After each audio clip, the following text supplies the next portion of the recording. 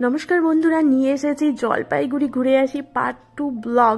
প্রথম ব্লগটা যারা দেখেননি, অবশ্যই গিয়ে দেখে আসুন। আজকে ফাটিয়ে মজা করব। আজকে আমাদের কিছু শপিং করার আছে, কারণ কালকেই চলে যাব আলিপুরদুয়ার। তো তার আগে কিছু শপিং করব, কিন্তু তার আগে অবশ্যই জলপাইগুড়ি শহরটা একবার ঘুরে দেখব।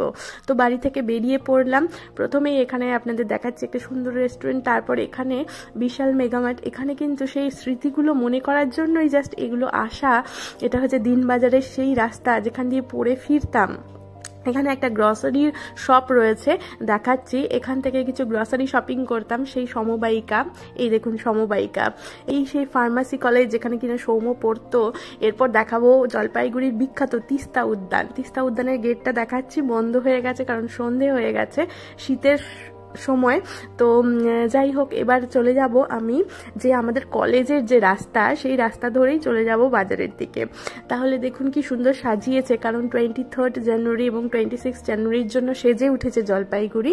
তো, এটা হচ্ছে বড় পোস্ট অফিস এবং সেই মোড়, এখান থেকে বাদিকে টার্ন নিলে আমার school government girls high school এবং যে কলেজ ছিল পিডিওমেন্স কলেজ সেটা পড়ে যাই হোক ডান দিক দিয়ে আমরা রাস্তাটা ধরে চলে এসে সেই বিখ্যাত জলপাইগুড়ি আলির বিরিয়ানি। আপনার নাম শুনেই থাকবেন। প্রত্যেকে জানে আমি যখন থাকতাম কলেজ লাইফে পুরোটাই কিন্তু এখান থেকে আমি মাঝে মাঝেই রাতে চিলি চিকেন নিয়ে যেতাম, ভাত তৈরি করে খেয়ে নিতাম। আর একবেলা তো হোম ডেলিভারি খেতে হতো।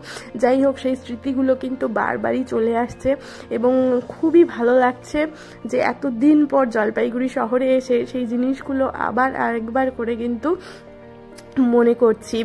এবার চলে এসেছি ফাইনালি শপিং করতে।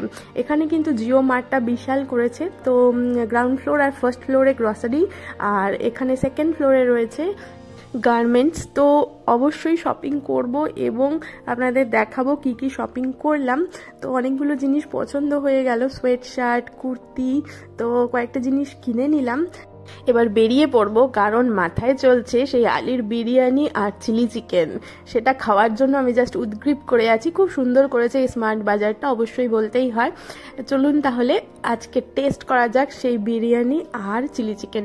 বিরিয়ানি আমি কিন্তু অতটা খেতাম না, কিন্তু চিলি চিকেনটা কিন্তু আমি প্রচুর খেতাম। তাই টেস্ট করে দেখব এখন এই দোকানের সেম দোকানের সেম আউটলেট থেকে কেনা বিরিয়ানি আর চিলি চিকেনের টেস্টটা ঠিক কেমন আছে। ও ফ্রেজি রেজিস্ট করা যাচ্ছে না নিজেকে, জিভে জাস্ট জল চলে আসছে।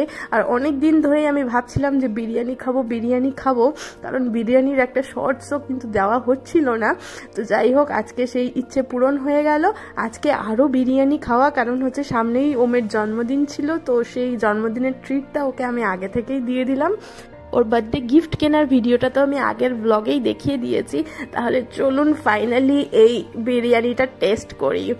ও এই বিরিয়ানিটা জাস্ট অসাম আর বিশ্বাস করুন যে চিলি চিকেনের টেস্টটা ঠিক একই রকম একই রকম আছে, দারুণ খেতে।